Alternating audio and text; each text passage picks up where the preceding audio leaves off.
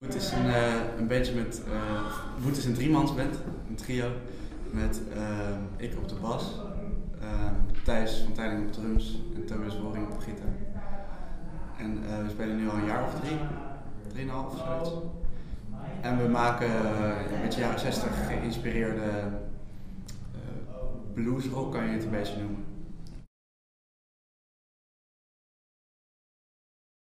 De naam is een lang verhaal, want uh, toen we nog net bij elkaar waren, toen was onze, onze gitarist, die was, uh, ja, kan je wel zeggen, verslaafd aan World of Warcraft. En die gebruikte de term boot heel vaak. En ehm, op een gegeven moment waren we aan het brainstormen over de naam en eigenlijk hechten we heel weinig waarde aan de naam. Dus we dachten van, ja, laten we, laten we dan maar boot doen, want dat vond hij een goed voorstel. Mhm. Dus sinds toen hebben we het daarbij gelaten. Oké.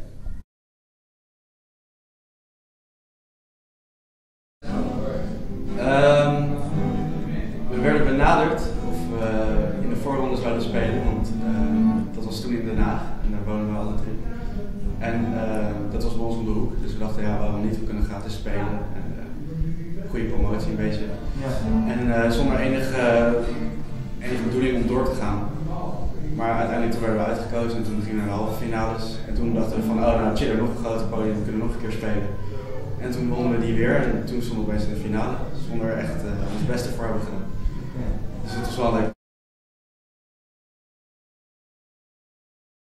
Uh, uit mijn hoofd weet ik alle tegenstanders niet. Ik weet in ieder geval wel de Pikeys van hier op school en uh, Stephanie June.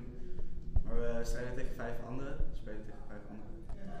En grote concurrentie ja, maakt me eigenlijk niet zo heel veel zorgen om. Het is, we spelen gewoon daar omdat we kunnen spelen.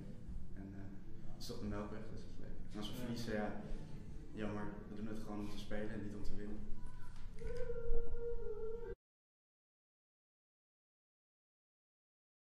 Uh, heel veel repeteren. Uh, drie tot, twee tot drie keer repeteren in de week. Gewoon. Zo, uh, zodat je alles een beetje gewoon strak kan spelen. Gewoon de setlist goed voor elkaar Zodat je alles mooi vloeiend in elkaar kan overspelen. En dat het staat, vooral strak is. Met veel energie op het podium. Hoe lang moeten jullie spelen? Uh, we spelen 20 minuten maar. Uh, zijn zes, acts die maar 20 minuten kunnen spelen. Dus uh, dat maakt het extra wel lastig, want je moet echt in die kleine 20 minuten moet je toch wel echt iets concreets kunnen neerzetten. Hmm. En het moet, het moet aanslaan op het publiek. Uh, 10.000 euro aan prijzengeld, waarvan 5.000 euro naar de uh, opnames van een uh, cd gaan, een album of een, uh, iets waar je zelf wat, wat je wil opnemen. En 5000 euro naar de band zelf, dus dat is ook wel fijn. Ja. een paar optredens, waaronder Eurosonic. Um, ja, heel veel een videoclip krijg je erbij. Het is echt een, het is wel een fijn pakket om te krijgen. En waarschijnlijk gewoon heel veel spelen. Ja. Dat willen we eigenlijk het, het liefst.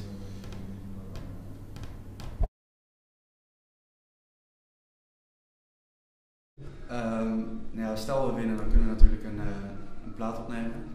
Daar zijn we nu ook al mee bezig. Maar ja, dat komt dan extra goed gelegen omdat je dan toch wel wat geld hebt om uit te geven.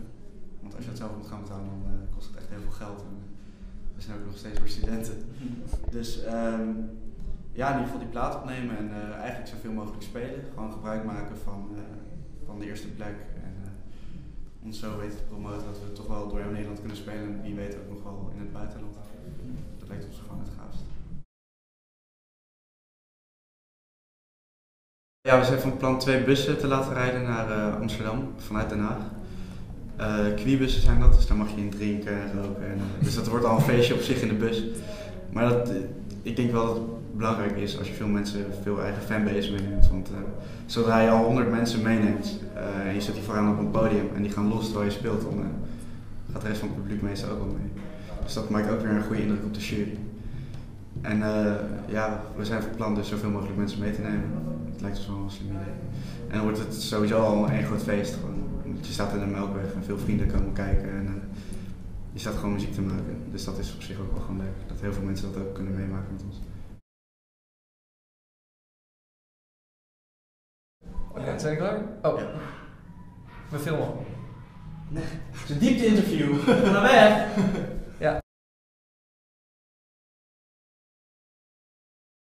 Belangrijkste vraag. Wanneer is het? Het is 10 december in eh, Amsterdam, in de Melkweg, Grote Zaal.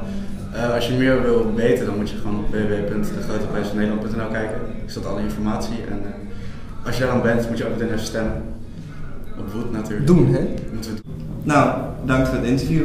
Ja, graag gedaan.